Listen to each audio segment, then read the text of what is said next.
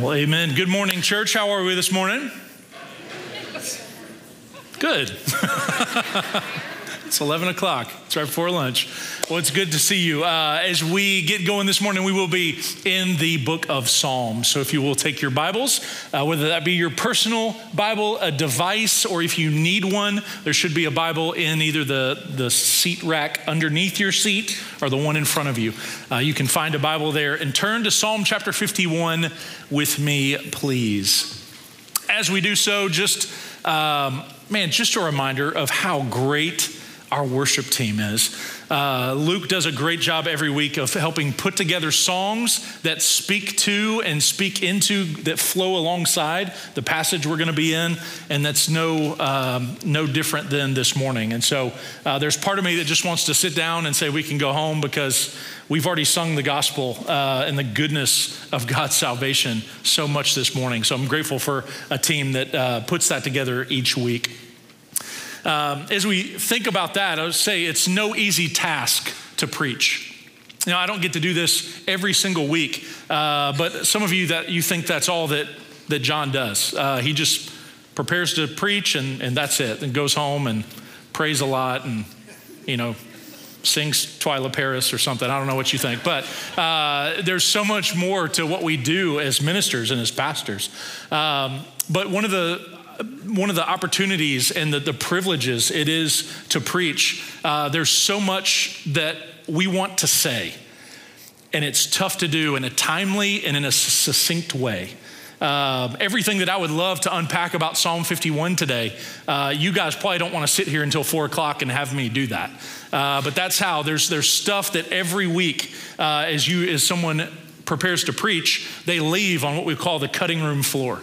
Uh, they have to cut out this incredible richness and goodness, uh, knowledge that we've, that we've taken away over the week of studying this passage um, that you won't ever get to hear. Uh, so much so that uh, Charles Haddon Spurgeon, a famous pastor dubbed the Prince of Preachers in the 1800s, uh, when he thought about Psalm 51, he would say that he would come to read and prepare to preach from Psalm 51, and he would always leave just feeling, feeling unworthy. Uh, in fact, that quote goes on to say, he said, such a psalm may be wept over, may be absorbed into the soul, may be exhaled again in devotion, but commented on? Ah! And that's a quote. Um, where is he who, having attempted it, can do but blush in defeat? And so basically he's saying like it's such it's so rich and there's so much there and also as you come to Psalm 51 you just feel like I am not worthy.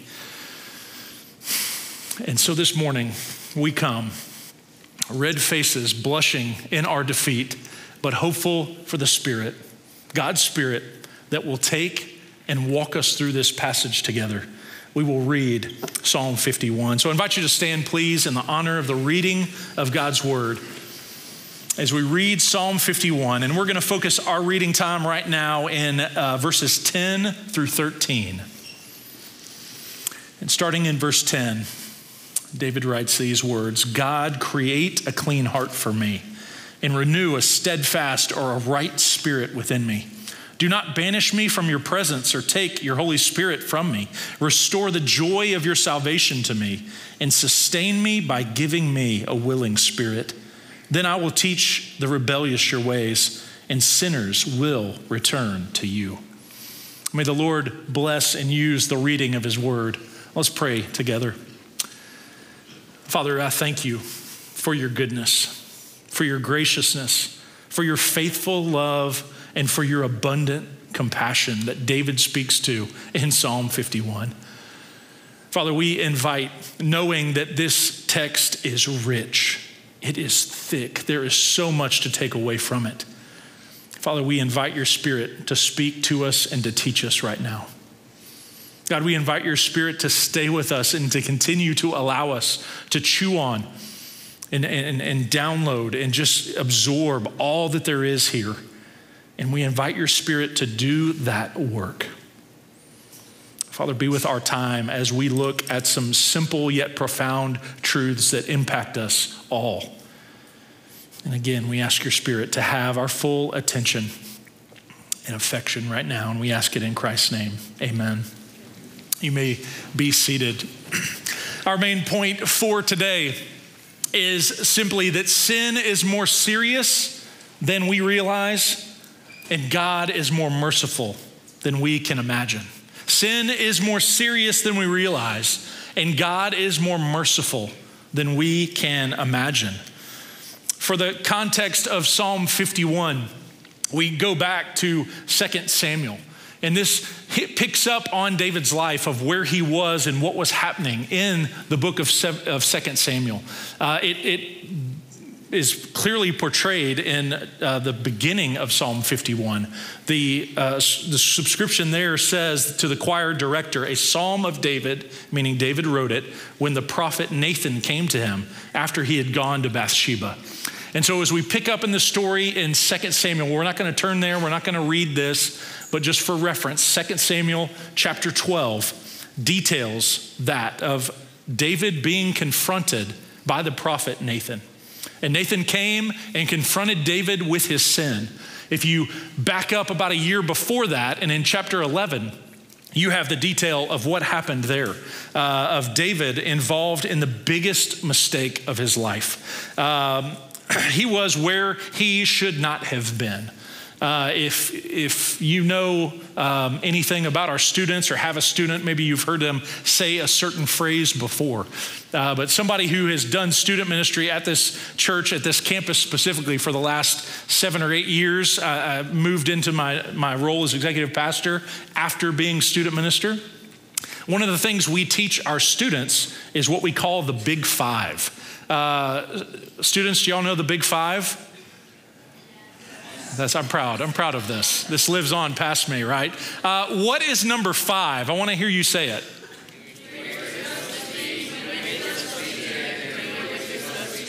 I love it. Be where you're supposed to be, when you're supposed to be there, doing what you're supposed to be doing, okay? And you guys nailed it. Good job. Um, this, for, I've been part of the Brentwood Baptist staff for about 16 years, and for the first probably 14 years of that, I, that was my role, was to like every camp, every retreat we did, every mission journey, even like regular Sundays and Wednesdays, I was to get up and, and help people recite that. And so it makes me happy that that's so, so readily available. But we looked at to David, right? Obviously, the big five did not originate with David. Uh, David missed rule number five. Uh, as we go back and look at 2 Samuel chapter 11, we see that David was not where he should have been. Uh, 2 Samuel chapter 11 begins with it was the spring, the time when kings went off to war. And yet we see David in his palace being idle, sleeping, taking it easy. He was not where he should have been. He was looking and thinking on things that he should not have been looking or thinking on. It says he awoke from his sleep, went out to the roof, and looked down and saw Bathsheba bathing. And then he sent for her. That led him to pursue desires and actions that were not pleasing to the Lord. Second Samuel details this part of David's life, his interactions with Bathsheba, and also his cover up with Uriah, her husband.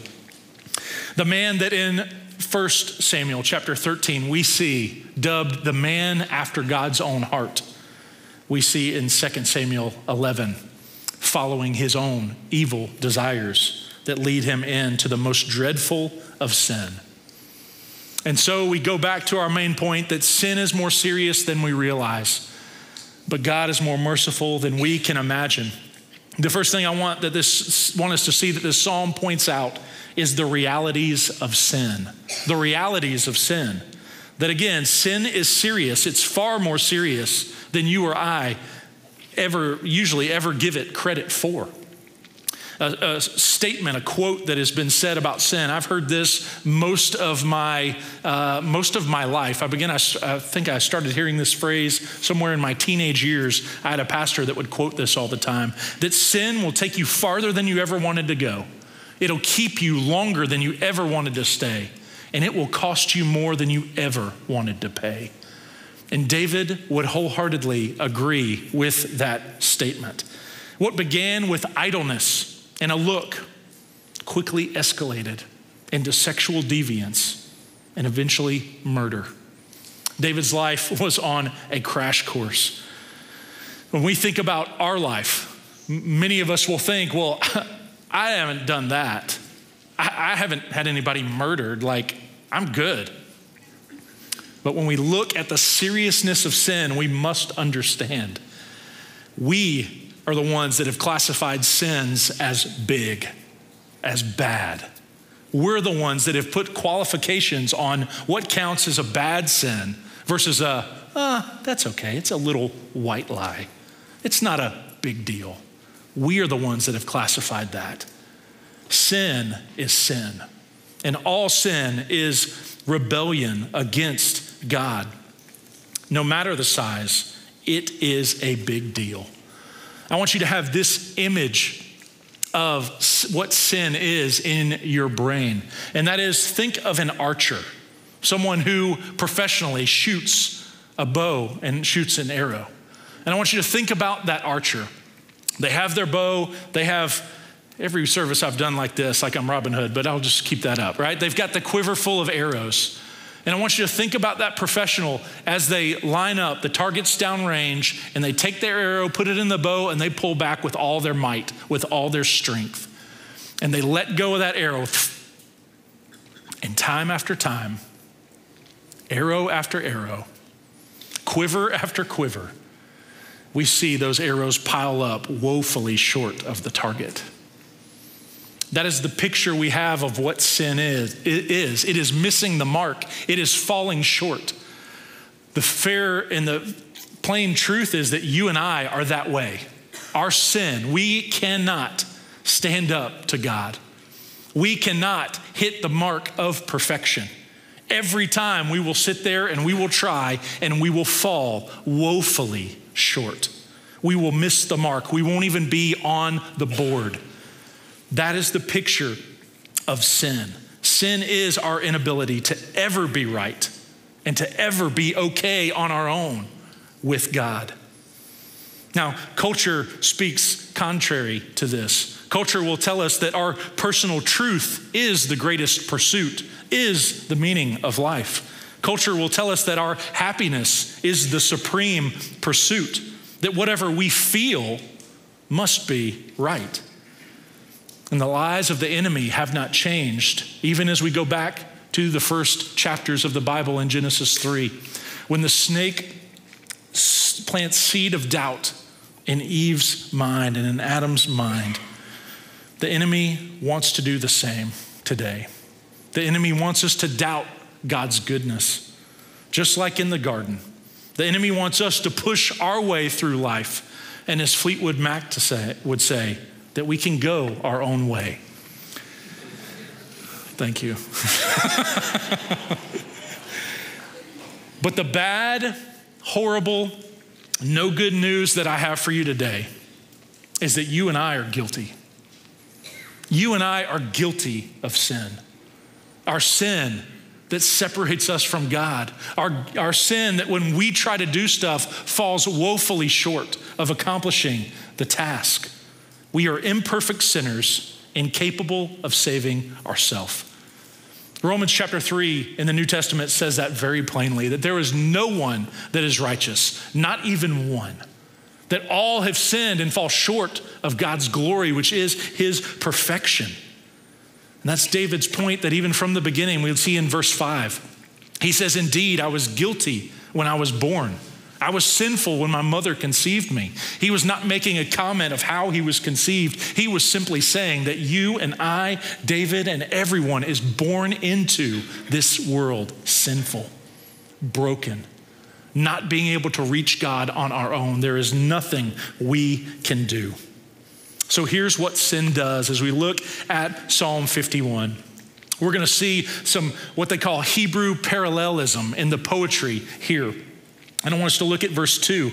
It starts by saying that sin stains. Sin stains. He says in verse 2 completely wash away my guilt and cleanse me from my sin. Jump down to verse 7. He says to purify me with hyssop and I will be clean. Wash me and I will be whiter than snow. Now, today, There are some people, some designers, some fashion people. Obviously, I don't have a good sense of fashion, but that's okay. Some fashion people would say that, that the stained look is cool. That's why people will buy jeans already ripped up. I've seen, uh, I've seen ads for, for uh, jeans and shirts that already have stains on them because we're not messy enough on our own to just do that. We have to pay extra for it. The epitome of sin that I've seen this week would be a pair of jeans that cost over $600 that are pee stained. That's gross. Yes, like urine, not like little peas, right? That's just gross. Okay? So fashion would say, oh, that's great, that's in, that's beautiful. But when we bring that back to the idea of sin that stains, there is nothing beautiful about sin. Sin is hideous, it is ugly.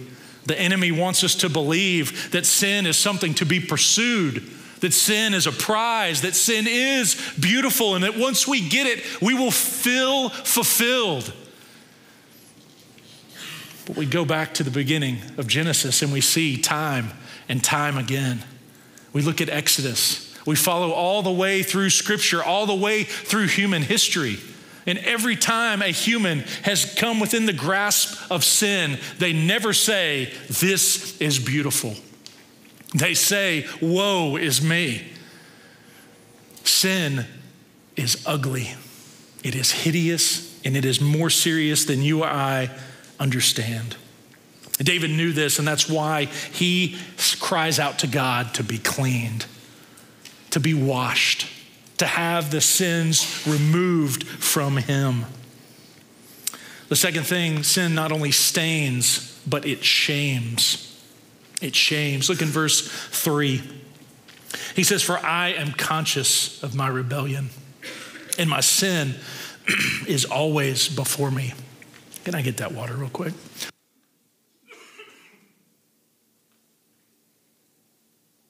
My sin is always before me. If you jump down to verse 8, he says, Let me hear joy and gladness, and let the bones you have crushed rejoice. The idea there being the weight of shame that was on David, it was always before him. If you've ever had a huge mistake in your life, whether it be sin or a failure at work or school or something, you know the weight of that. I can think back to, to missing shots in basketball games that were game winners. I can think to, uh, you know, mishandling a relationship or saying something, oh, I really wish I wouldn't have said that, right? And you feel the weight of that shame and it stays with you. And that's how David felt. He said, This is constantly on me. Everywhere I look, I can't help but see it and feel it and think about it. And he comes down and says, God, I need you to speak life over me. I need to hear good news because I am constantly feeding myself the bad news of my shame, the bad news of my guilt. I constantly see my stain, and it's killing me. That's what shame does. It seeks to cripple us, to crush us like we have broken bones. As a parent of seven children, I have no lack of stories of people trying to figure out their way in life and then walking in that shame. Uh, specifically, the toddler years are ones where it's basically, I mean, it's just people trying to, it's just a toddler trying to figure out life, and they basically, they are the definition of sin. Uh, they don't listen, they don't obey, they're pressing every limit they can. You tell them no over here, and then you look around, and then they're doing exactly what you just told them not to do. They're just, they're just trying it all out. And so I'll use my one child that's not in the room right now, the toddler. Recently, we something had something happen at the house, and I looked at my wife and I said, "That's going to be used on Sunday as part of the sermon." So our three-year-old walks in to our bedroom. She had been outside playing, and she kind of walks in, looks, and she's like, "I need to wash my eyes," which every three-year-old says, right? No, it just struck me as odd. I was like, what three year old says I need to wash my eyes out? That's weird. Uh, goes into our bathroom and she goes, sticks her little head out and she goes, I need privacy, and closes the door. And we're like, okay, this ought to be good. so as she spends a few moments in there, it kind of starts to whimper and cry. And we're like, what's going on, baby? And wouldn't you know, our toddler broke rule number five, too she didn't do what she was, she did what she was not supposed to do. With the weather as it is, the sun getting, the days getting longer, the sun getting hotter, those UV rays, we had bought some spray sunscreen for our kids to put on outside. And we had told our three year old, you are not to mess with this and spray this. And what did she do? As a three year old, she looked at it and went right in her face, right? So, her painful lesson gets to be our illustration of this shame this morning. Because what happens often is the way we respond, the same way my three year old responded. When we get caught in our sin, when we realize that we have stepped over God's boundary lines.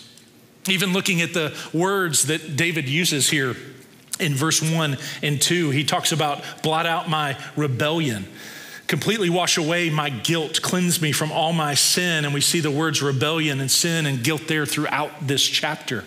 Those are words that all are distinct words that all speak to us rebellion, stepping over God's boundaries. Guilt is us being morally impure, that we're not good in and of ourselves. And sin, again, the fact that we miss the mark, we fall short. Often, when we find ourselves in those situations, we do exactly what my three year old did. We try to hide it, we try to take it on ourselves and try to fix it ourselves. We say to God, God, I need privacy right now. I need you to leave me alone so I can try to figure this out. David had been there too. David had been there for the last year trying to figure out and fix his own sin. And it was not going well. Sin stains us and it shames us. We try to deal with our sin in our terms, but we ultimately realize, as David did, I have to turn to one who is stronger than I, the one who can take on and deal with my sin. And the third thing is sin does is it separates. In verse 4 through 6, David says, Against you and you alone, God, I have sinned and done what is evil in your sight. Now, David right here is in no way diminishing his sin on the vertical level. He is in no way saying, I didn't sin against Bathsheba. I didn't sin against Uriah. I didn't sin against the nation of Israel. He was simply saying, if you, if you trace all that back, the root is that vertical relationship. He had broken God's rules and God's commands. And anytime we break God's rules and God's commands, that's the start of it, right? And usually it's going to filter out and affect our horizontal relationships as well. So David was not under, undermining, like, hey, I didn't really hurt these other people. He was agreeing with that, but ultimately, and back to the root of things, his root sin was against God. And that causes for that separation. He goes on and talks about his how he's guilty, how he's fallen short, and how he deserves God's judgment. He is in full agreement with what he has done is wrong, and he recognizes the, the separation that that brings. William Plumer was a theologian and an author in the 1800s. He has a big, fat psalm commentary that's one volume, like one of the thickest books I have. And in speaking about Psalm 51 and in speaking of the seriousness of sin, he writes this If we think lightly of sin, we shall not much be concerned to get rid, rid of its guilt or its defilement, or be very watchful against its assaults, or very thankful for supposed deliverance, if of its cure or its power. In other words, Plumer is saying if we take sin lightly, then it sin's not a big deal. We can easily write it off, justify it, put it under the rug, and just put it over there for later. If we take sin not seriously, then we think we can handle it. But Scripture tells us very plainly and very clearly that we cannot, that we are incapable, that we fall short. David agreed here in taking sin not lightly but seriously. And he shows us the seriousness of sin because we see in Psalm 51 that he owns it. Never in Psalm 51 do we see him try to blame others. Do we see him give excuses or justifications? Oftentimes, when we come and approach our sin, that's what we do. We see that. That's human nature, right? We see that in the garden. Well, it's the woman you gave me. It's the snake you created. It's this person. It's that. Per- well, at least I'm not like this. We do this still today. We as humans have learned not a whole lot over, over thousands of years. We still do this today. As we come and we think about this and we look back at David, he owns it.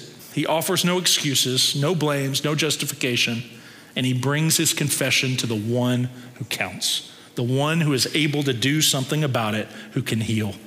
For his stains, he asks God to wash. For his shame, he asks God to speak life. And for his separating sin, he acknowledges that it's against him he has sinned and that he feels that separation. Sin is serious. It's more serious than you and I often realize, which is why we need to do the second thing that we see in this psalm, and that is to repent from sin. Repent from sin, knowing that repentance leads to restoration. God's restoration is a humbling display of his mercy. It is a humbling display of his mercy. Now, church, this is the good news. The sin part was the very bad news. The repentant part is the very good news of the gospel that our guilt, our sin, our shame, our stains have been atoned for. Payment has been made on our behalf by Jesus. Everything that David said in Psalm chapter 51, verse 1 is true. He invites God, he asks God to be gracious. Why? Because God alone is the one who can be gracious. Because it's who he is, according to your faithful love, according to your abundant compassion. He calls out to God because God is the one who is able, the only one who is able. And in his repentance, David makes a few requests that we're going to look at in 10 through 13. The first thing he requests is to be made is to be renewed. To be renewed. In verse 10, he says, God, create a clean heart in me and renew a steadfast or a right spirit in me. The Hebrew word there is bara, and it's the same word that we find in Genesis 1 that speaks to the creation of the heavens and the earth. The idea of bara means out of nothing. So, in other words, David is not saying, hey, why don't you slap a fresh coat of paint on my heart and just make it look better, make it look good. No. David says, get in there and do your work. Do a full overhaul, renew that puppy, make it new. In the New Testament, the way that looks like is what Paul talks about in 2 Corinthians uh, 5 17, where he says, If any person is in Christ, they are a new creation. That old things have gone away, behold, all things are new. That is the work of the Spirit other places of scripture talks about people having a heart of stone, but God giving us a heart of flesh. In other words, a heart that is stone, it's hard, it is un you can't do anything with it. But a heart of flesh you can make and mold. And that is what God does. He gives us a new heart. He gives us a new heart. C.S. Lewis said it this way that Jesus did not come to make bad people good in other words, he didn't just make us come to make us look pretty on the outside, but he came to make dead people alive. That is the good news of the gospel of Jesus Christ. That God gives us a new heart, that if you are in Christ, you are a new creation, not just a prettier version of the old self, but God is making you and consistently making you into something new. That is a picture of his glorious and his glorious mercies that we cannot understand. We second see in verse 11 the request to remain. He says, Do not banish me from your presence or take your Holy Spirit from me. If you think back to where David was, what David had seen in his life, he had seen God's Spirit leave a leader before. See, in the Old Testament, the Holy Spirit did not come and dwell with, with followers of God. Uh, salvation in the Old Testament was based on one's belief that the Messiah would come. They did not know Jesus by name, but they believed in God and they followed God, trusting that God would send a Messiah.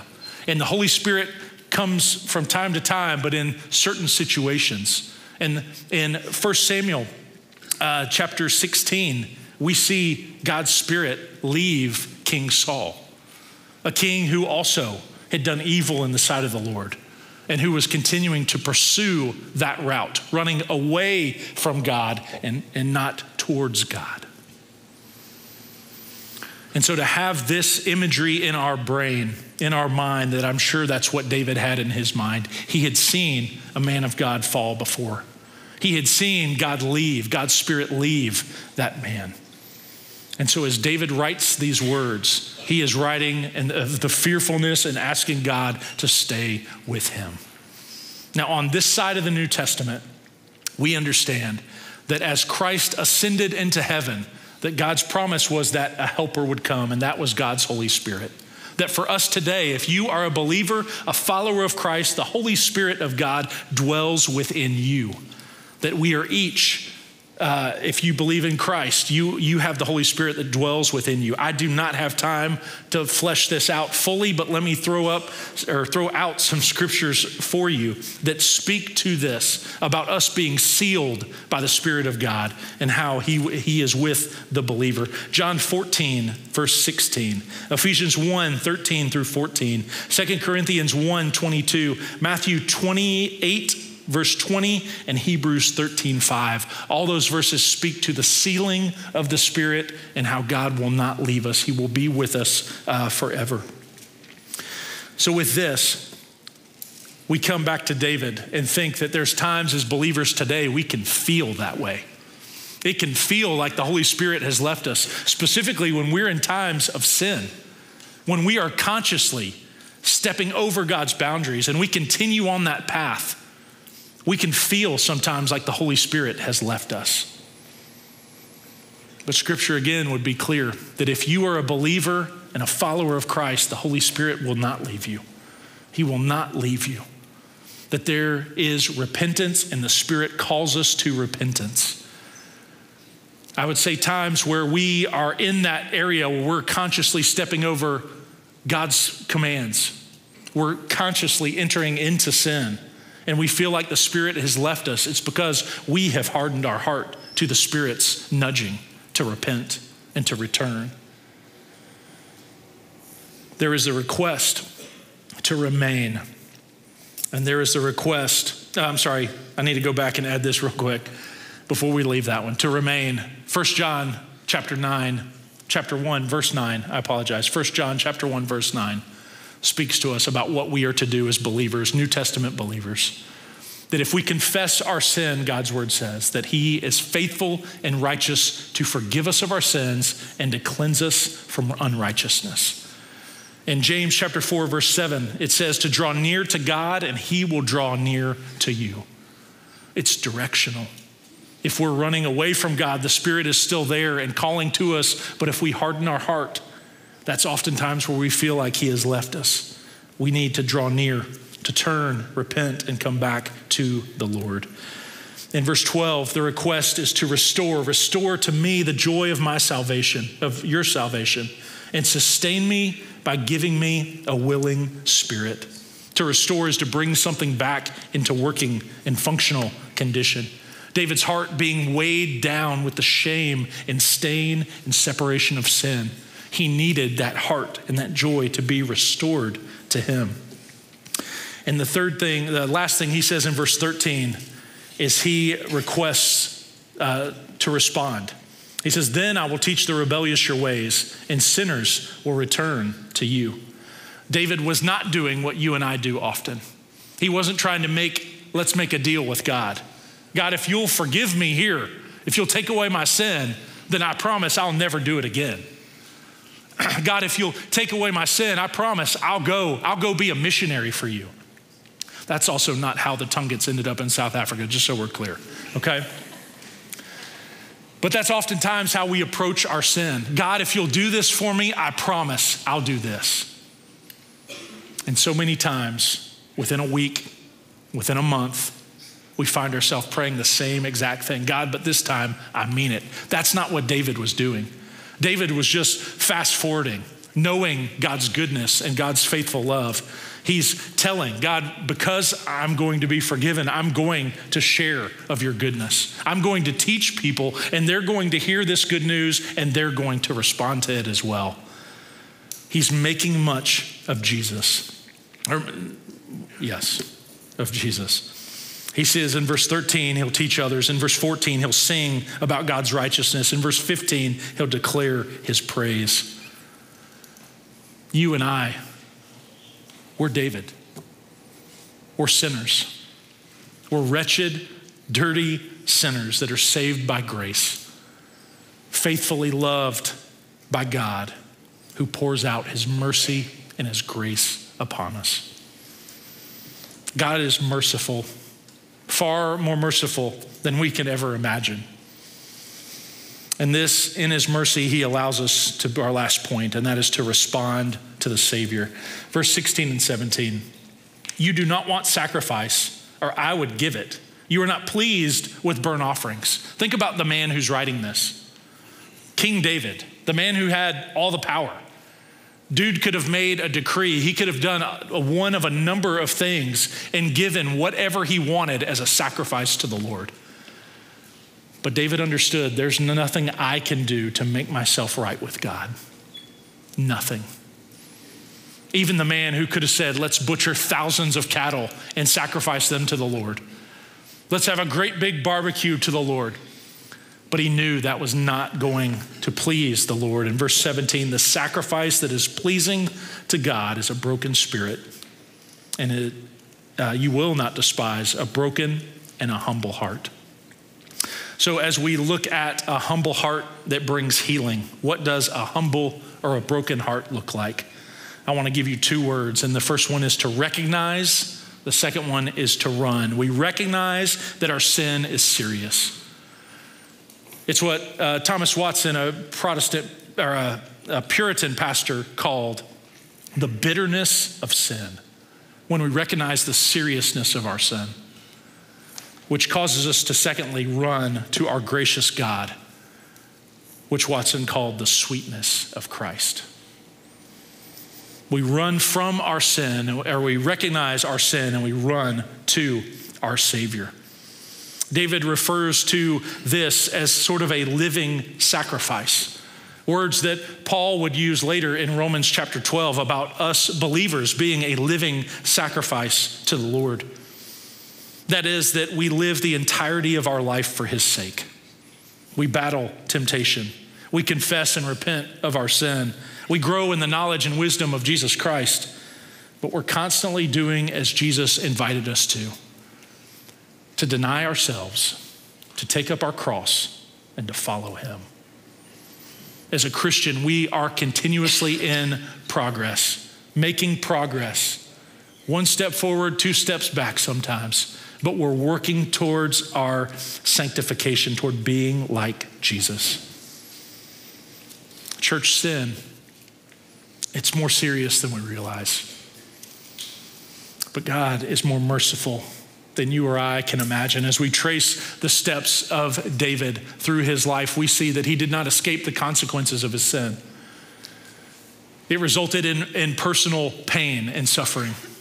It resulted in the loss of a child. It resulted in turmoil within his kingdom, eventually splitting the kingdom of Israel into a north and a south kingdom. And we see God's mercy that followed David. God is faithful to forgive us. We also see that David is not taken out of the lineage of the coming Messiah. God, in his mercy and in his grace, a promise that he kept to David to not blot him out, to not take him away or out of God's presence. And even as we think about David today, we still think of him as, yes, a flawed man, but a man after God's own heart. You and I are in that same place. We can be people who are flawed, but can be people after God's own heart. Today, listen, because the Spirit is inviting us to continue to recognize and run. Recognize that your sin is a mess and there's nothing you can do about it, which means we have to run to a Savior who is good and who is able to restore us and to give us the joy of his salvation. I want to invite you to bow your head and close your eyes. And the whole purpose of this is just to be still right now and to ask God's Spirit to speak to us. We are never invited to come to God's Word and just say, hey, I want to get some more information today. But God always is about the transformation. So I want to get out of the way and allow you just a few moments to sit with the Spirit and invite the Spirit to speak to your heart of your next step of obedience.